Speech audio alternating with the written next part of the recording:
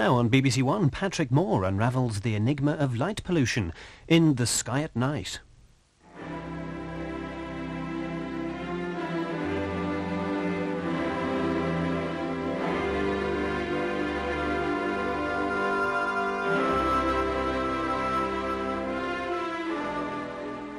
Good evening. There's been really exciting news from the spacecraft Galileo, which is on its way to Jupiter by a rather roundabout route. It's scheduled to reach Jupiter in 1995 and drop a probe into the Jovian clouds. But meanwhile, it's been in the belt of asteroids, or minor planets, between the paths of Mars and Jupiter, and it's sent back this picture of the asteroid Gaspra, a strange little world, no more than 10 miles long, rather like a potato in shape and pitted with craters. And that is the first close-range picture we've ever had of an asteroid. In fact, Galileo did take another picture too, but we probably won't get that transmitted until Galileo passes near the Earth again at the end of 1992, some time to wait. But meanwhile, we have the Magellan space probe in orbit round Venus. Now, Venus is brilliantly visible in the morning sky now, and you can't mistake it, it is so brilliant. And uh, the other morning, I made a drawing of it with my 15-inch telescope, and there it is, shaped like a half moon, and you can see one or two vague clouds there. And that is all. We can never actually see the surface of Venus. It's permanently hidden by the dense, cloudy atmosphere. So the only way we can map it is by means of radar. And we have now a superb radar computer graphic representation sent back from Magellan. There's the rotating globe, totally unlike the Earth. And now we're going to have a more close-range look at Artemis Corona, which is a huge plain over 1,600 miles across, and then go over some of the craters and over the highlands of Aphrodite. So here we go on a tour of Venus. And this must be exactly what you would see if it were possible to go through those clouds.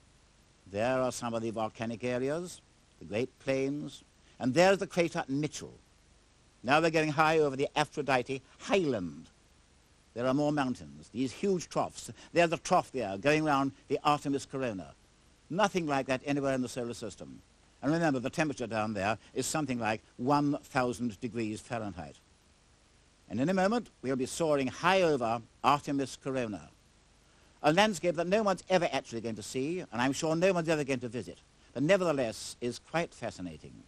And you know, it really is amazing that less than 40 years ago, we knew nothing about Venus, and we even thought the surface might be entirely covered with water.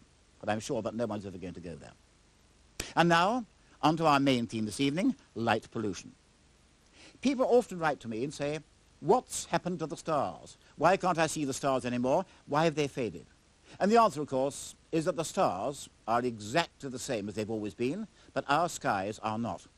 Inefficient, glaring lighting has made the skies lighter and there's a kind of sheen all over them. And if you live in a city, you'll be lucky to see the stars at all. A campaign for dark skies has been spearheaded by the British Astronomical Association. And recently we held a meeting in northeast England, and um, our president, Dr. John Mason, took this photograph of Gateshead by night. And I think you'll see that the problem is there. That as it was very late, I think it was early, early hours of the morning, in fact. Even in my home down in Selsey, where I'm surrounded by sea on three sides, I do have a certain amount of light pollution trouble. And in fact, in my garden, I've put up two screens to hide the street lamp from shining across one of my telescopes. It is everywhere. It's a global problem. Look, for example, at California. There is the dome of the 100-inch Mount Wilson telescope, for so long the largest and best telescope in the entire world. And there the 100-inch itself. The telescope used by Edwin Hubble to show that the universe is expanding. Now, that telescope has been put temporarily, we hope, out of action simply by the light pollution from Los Angeles. And there is the view from Mount Wilson. You can see there are two layers of smog as particles in the atmosphere are lit up by the artificial lights of Los Angeles. It is, in fact, a problem that affects the entire world. There is an international dark sky association. The president is an American, the American astronomer, Dr. David Crawford. He was over here recently, and I asked him what was the main cause of the trouble. Well, Patrick, the problem really is that we have so much bad lighting around, and so much of the new lighting that's going in has never seen any lighting design. Somebody just buys a light and hangs it up indiscriminately, and so light's going everywhere into our eyes to cause glare, but particularly for our cause, so much of it's going directly up into the sky, and that's what causes the urban sky glow. It can be bad street lighting, bad flood lighting, bad car lot lighting, bad home lighting, any of it. What we need is, of course, good lighting. Well, so far as controlling this is concerned, what success have we had in America in dealing with the problem, and how have you gone about it? Well, we've had a great deal of success in some areas, like Tucson, where I come from, because we've been working on it for quite some years. So that the skies in Tucson, even though it's a city of 700,000 people, we can see the Milky Way from the center of the town. How have you achieved that? Well, we've worked with the lighting engineers mainly and with the city officials. If you want to get solutions, you have to work with the people who can help you. And we look upon all these people as allies and helpers, not as enemies. Uh, they're doing all the lighting, and therefore there's where the key to success is. What exactly should they be doing? Well, they should be using quality lighting. And in fact, we are allies with the lighting industry. Uh, yet I've, I've spoken with lighting engineers here, and, and they're doing exactly the right things. They understand what good lighting is. And the thing that really is needed for success in America or here is just to get the good lighting in even faster. Quite apart from the astronomical aspect, what are the benefits of better lighting? Well, bad lighting is lighting that causes glare, and you can't see. Glare never helps visibility. And when you're driving down a motorway or a street and you're blinded by glare, that's dangerous. Good lighting doesn't have that. And that's the same kind of lighting that puts light up into the sky and gives us great bothers. And you think in the long run that something really will be done about it? Well, I'm very optimistic in the long run because I've found that when I talk with people and educate and build up awareness about these issues, it's a, it's a, a game in which everybody wins because uh, we keep dark skies because we have better lighting and we're not putting lighting up in the sky, wasting an astronomical amount of money. We see a lot better at night because we're using much better lighting, modern fixtures, uh, which control the light and don't waste it, don't cause glare. And we have a much more uh, uh, ambience environment at night. Uh, things look nice. They're not cluttered. We, we have a much more appealing night, both because we can see the sky and because we have better lighting. There are so many people who say to me, astronomers want to put out the lights. And of course, that simply isn't true. Absolutely wrong. What we want is people to use the light, not to waste it. If we put half the light that we're generating up into the sky, it doesn't do one bit of good for safety and security. We want good lighting, not too much, not too little. Astronomers are absolutely not saying turn off the lights. We're saying use good lighting because the good lighting means that we have dark skies, we save a lot of money, and we can see better at night instead of being blinded by bad lighting. It's a global problem. Look at this picture of the darkened Earth. Over on the left-hand side, the Americas. To the far right, Japan. Europe, just above the center. You can see there the tremendous amount of light pollution there is, particularly in the low countries. There's the United Kingdom. We can see it there. Over to the right-hand side, Holland and Belgium, very bad. France, rather better. But you can see the amount of light pollution there is all over the country. It's small wonder astronomers can't see very much. And, of course, it affects our observatories. Dr. Derek McNally is the director of the University of London Observatory at Mill Hill. And, of course, Derek, you're having your problems. Indeed, Patrick, we're having our problems. As uh, Dave Crawford rightly points out, the lights, uh, the street lights are an enormous problem. You see the yellow glow of the uh, A1, uh, but you can also see something else which is affecting us, uh, which are the lights caused by passing aircraft on their way down to Heathrow. Actual light pollution is one thing. What about the problem of colour? The problem of the colour of the lights is of paramount importance to us, uh, particularly when we do spectroscopy. For example, uh, we can show that uh, white light is made up of light of very different colours uh, by setting uh, the light of a normal uh, slide projector through a prism uh, and one sees that the, the, uh, the, the, white light is split into its component colours uh, from red through yellow and green to blue and even violet, the colours of the rainbow. But not all lamps, uh, fortunately, give that form of continuous spectrum. If you take a sodium lamp, which fortunately most street lighting is, low pressure sodium. In the low pressure sodium light you will get in fact two very narrow lines instead of the continuum. Uh, in the graphic you can see the sodium spectrum above the continuous spectrum uh, and so you see how much freedom there is to use the rest of the spectrum. Yes indeed. And most astronomical spectroscopy is in any case done in the blue. Uh, so low pressure sodium, which is the top light on this graphic, uh, gives you a, a, a, nice narrow line and all the rest of the spectrum is free. High pressure sodium uh, takes up rather more of spectrum space and introduces light into the blue and into the red. But worst of all uh, are mercury lights which have spectrum lines all over the place uh, and are a complete nuisance. And of course the new halide lamps uh, which are so beloved for sports grounds, tennis courts, outdoor facilities. uh, which give a continuous spectrum again, and of course are an anathema to us. Can you get around that with modern type equipment? Oh, indeed you can.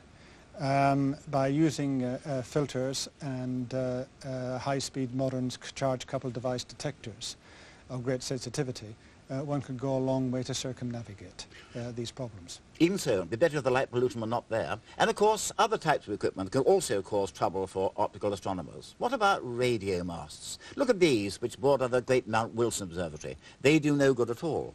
And of course, we've got to remember there's also radio pollution. After all, visible light is only a small part of the whole range of wavelengths or electromagnetic spectrum, and uh, on the long wave or radio end, there's considerable trouble now. Indeed, and unfortunately, the radio astronomers are as much beset with uh, electromagnetic noise as the optical astronomers. Even more so in a way, they can't really get away from it.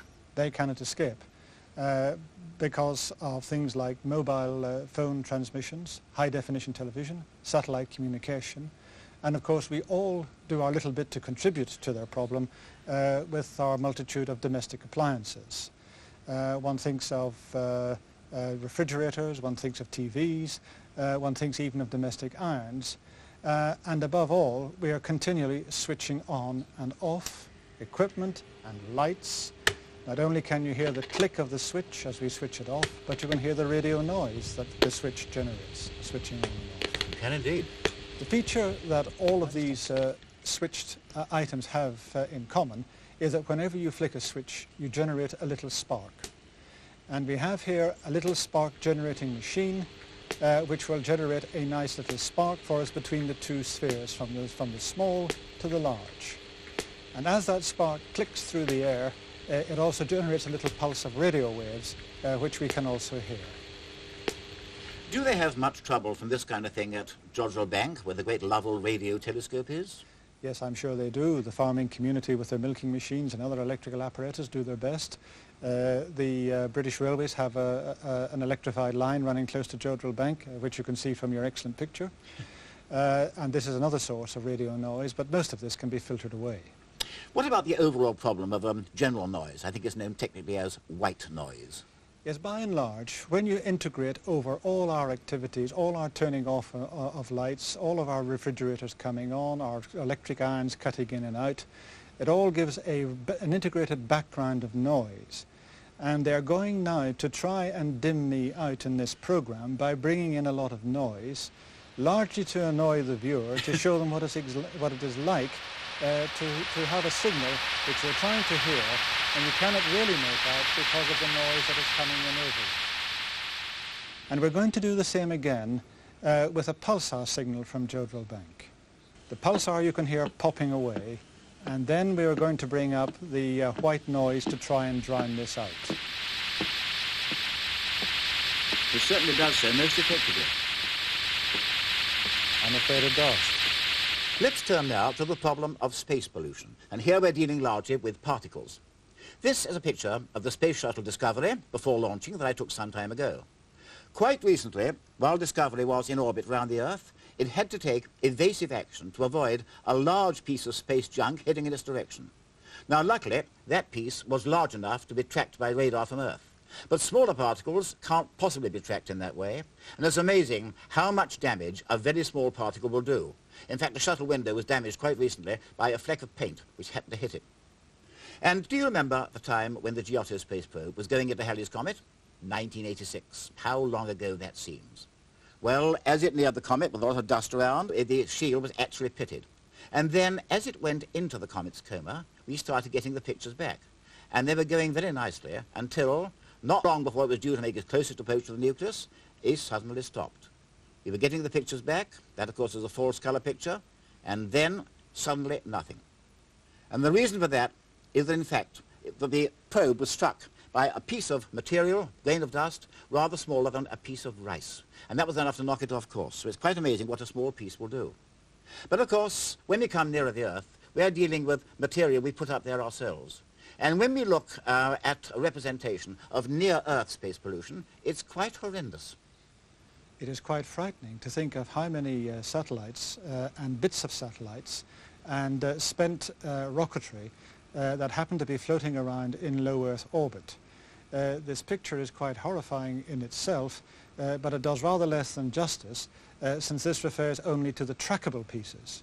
Pieces less than 10 centimetres in diameter cannot be tracked. And the geostationary piece, pieces as well, of course. And of course now the geostationary orbit is also getting, uh, uh, getting rather full. This is the orbit that, for example, contains the spectroscopic satellite IUE. And of course the Sky satellite. And of course Sky satellite. Uh, again, uh, uh, any of these is subject to possible bombardment by debris. I think is really the near-Earth problem is the worst. Think about the Hubble Space Telescope, which may be faulty, but is sending back superb results. And I gather there's a 1% chance that in the 17 years planned lifetime, it will be hit by a piece of material uh, large enough to do serious damage. And that's not really acceptable, is it? That's not really acceptable because uh, if that is the chance for an absolute catastrophe, uh, the chances for minor damage uh, are very much higher. And it's amazing how many satellites and pieces of material are up there now. And this is causing problems for optical astronomers too, because plates taken for quite different reasons are found to be trawling the satellite trails. Look at this one. There were three trails there. You can see them quite clearly. Yes, these uh, beautiful plates, which are taken of a field six degrees by six degrees, are really works of modern art, uh, and they take perhaps up to two hours to obtain. And in that time, you have a picture which is crossed by three satellite trails. Here's another example. This lovely picture of a spiral galaxy taken at the European Southern Observatory. And there, on the right-hand side, is a red line marking the trail of a passing satellite. Yes, this is a lovely uh, colour picture done by taking three plits in different colours. And it was the red plit uh, which suffered from a, from, a, from a satellite trail. And satellite transmissions can themselves do damage, particularly in the shortwave or gamma ray end of the spectrum. Oh, indeed they can. Uh, uh, the, the, transmissions from satellites, and one thinks in particular of the GLONASS navigation satellites belonging to the uh, Soviet Union, uh, these are producing so much interference that they are almost destroying any possibility of detecting the interstellar molecule OH. And you can get spurious gamma ray bursts too.